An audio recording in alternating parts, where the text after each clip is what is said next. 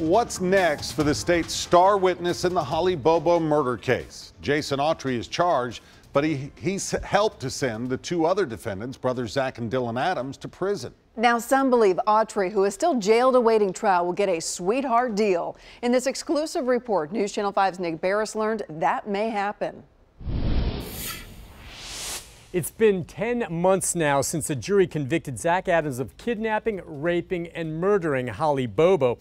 He's now serving life in prison, and there's no debate. Jason Autry put him there. You, you remember Autry. What was your plan of disposing of Holly's body? Mr. Gutter. Autry is a co defendant. He was charged along with Zach and his brother Dylan Adams in the Bobo case, but last September, Autry turned state's evidence to testify against Zach Adams. That's the way the game is played. You have a case that's circumstantial with some physical evidence, but you need someone to tell the story. And so he was important. He had to tell the story. And so that's why he was valuable. How valuable he was, we'll find out when they cut his plea deal. I did not kidnap, I did not rape, and I did not kill Miss Bobo. And I did not.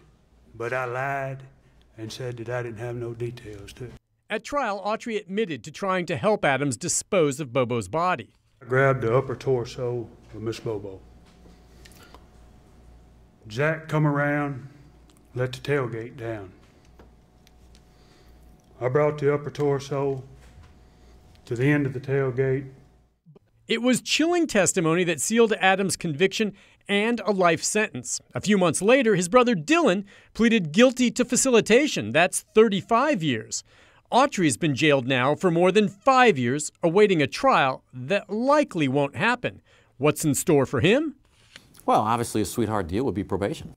Counting time served. It could happen, but legal expert Jim Todd says prosecutors are in no hurry to resolve the case against their ace witness and here's why. The state is concerned that if the case is reversed, and in my opinion there's a strong likelihood of that, that they'll need him again.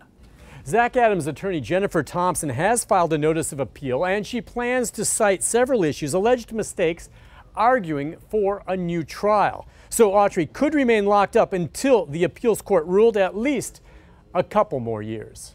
We'll see. Nick Beres, News Channel 5. We will indeed. For now, Jason Autry remains incarcerated without bond in the Riverbend Maximum Security Prison.